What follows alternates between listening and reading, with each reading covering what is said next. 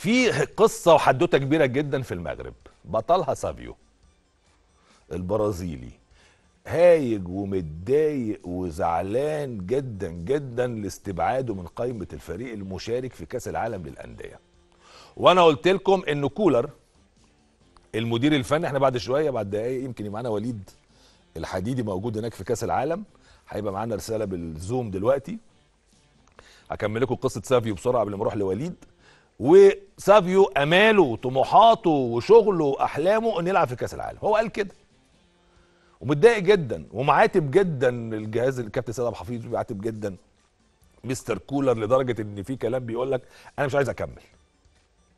في كلام بيقول سافيو أنا مش عايز أكمل في النادي الأهلي. أنا كان أحلامي وطموحاتي ألعب كأس عالم للأندية.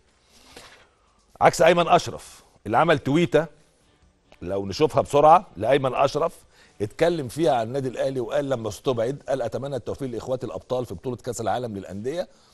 أدعمكم بكل قلبي وأتمنى التوفيق من الله ونقد ونقدر نحقق حاجة كويسة تليق باسم النادي الأهلي العريق وجمهوره العظيم. أما سافيو رافض. تماما. طب أنا هقول عنده حق؟ لأن هو محترف ولاعيب برازيلي والأهلي جايب له فلوس كتير عشان يفيده ولا أقول ما عندوش حق؟ المفروض إيه؟ طب هل ينفع يبقى في لعيب بالقيمة المالية دي وما يخشش قائمة كأس العالم؟ يعني أنا جايب لعيب بهذه القيمة المالية ومستورد ميد ان برازيل.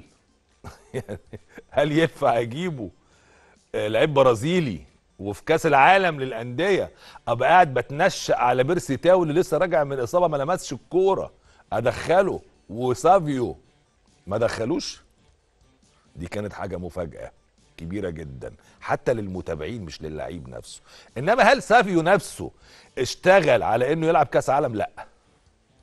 الفترة الأخيرة اللي لعب فيها كان مستواه يزيد عن الموجودين اللي ممكن يخش مكانهم. هيخش مكان مين؟ قفشة فاخري عبد القادر. مش دي الناس اللي يخش مكانها لأ ما كانش أفضل منه.